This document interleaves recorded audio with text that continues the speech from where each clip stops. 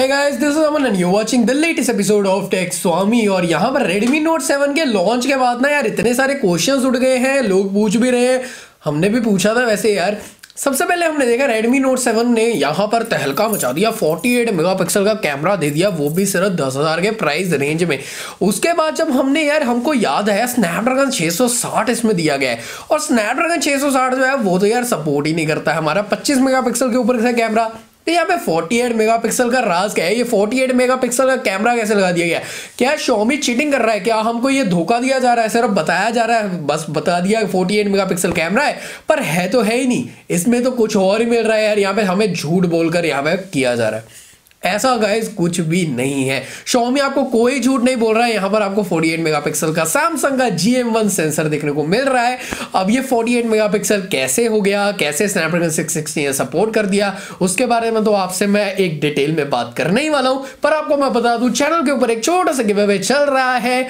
उसको अगर अभी तक आपने यहाँ पे पार्टिसिपेट नहीं किया है, अपनी एंट्री नहीं डाली है, ये रहा लिंक जाओ गिव अवे में पार्ट लो।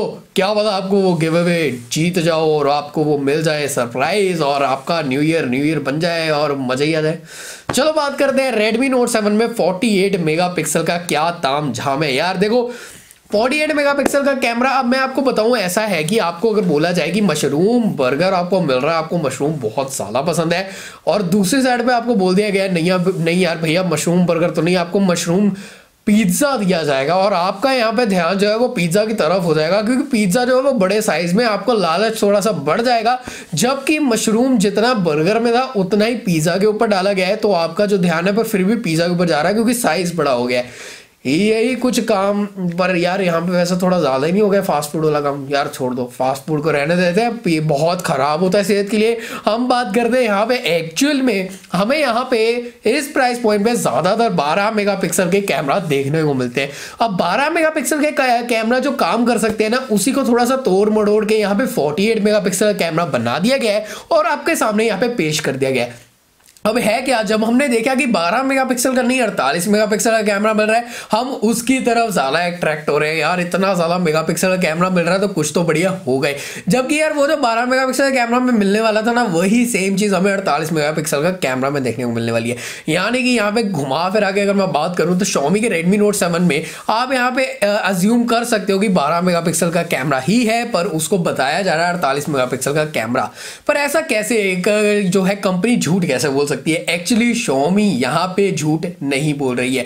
अब ये जो सैमसंग का GM1 सेंसर है, वो यहाँ पे 48 मेगापिक्सल का कैमरा कैसे दे रहा है, वो मैं आपको बता देता हूँ। एक्चुअली होता क्या है यार, हमारे अगर मैं एग्जांपल लूँ जेनफोन 5G भी है, उसमें भी हम 49 मेगापिक्सल का यहाँ पे खींच सकते हैं फ़ोटो पर वो कैसे खींच सकते हैं पिक्सल बाइंडिंग के साथ? अब पिक्सल बाइंडिंग ऐसी चीज़ होती है यार, अगर आपके पिक्सल्स जो है ना, उन पिक्सल्स को अगर चार चार पिक्सल उठा के एक पिक्सल बना दिया जाए ना, उसको बोलते हैं पिक्सल बाइंडिंग इसी वजह से हम कर सकते हैं मेगापिक्सल्स को बढ़ा सकते हैं और पिक्सल बाइंडिंग की तरफ़ से हम थोड़ा सेंसर्स को बढ़ा करके दिखा सकते हैं और आपको यहाँ पे लालच दे सकते हैं कि नहीं भैया, 48 मेगापिक्सल का कैमरा है। अब यहाँ पर एक्चुअली हुआ गया है? अभी ये जो 48 मेगापिक्सल का कैमरा है, ये आपको मिल रहा है 0.8 माइक्रोन के साथ। अब इसको अगर हम आप एज्यूम करोगे कि 12 मेगापिक्सल का कैमरा ले तो वो बन जाता है 1.6 माइक्रोन पिक्सल के साथ।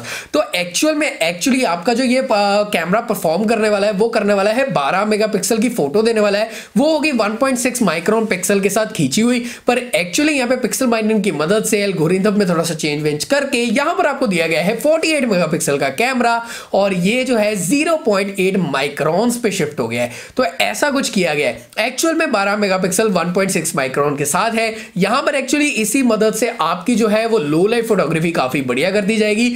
अब यहाँ पर एक्चुअली ऐसा अगर आपको सेंसर यूज़ करना है तो आपको अपर्चर भी काफ़ी बढ़िया देना पड़ता है। तो यहाँ पर शोमी ने एफ़ भी यूज़ कर दिया है। अब ये ऐसा किया है तो ऑब्वियसली लो लाइट फ़ोटोज़ हमें काफ़ी अच्छी देखने को मिलेगी। तो घुमा फिर आगे यार, मैं आपको बहुत ज़्यादा हैवी वाली मतलब फीलिंग नहीं देने वाला यार यार, बंदे क्या बोल गया? मतलब टेक वाली कौन कौन सी भाषा बोल गया? समझ ही नहीं आई।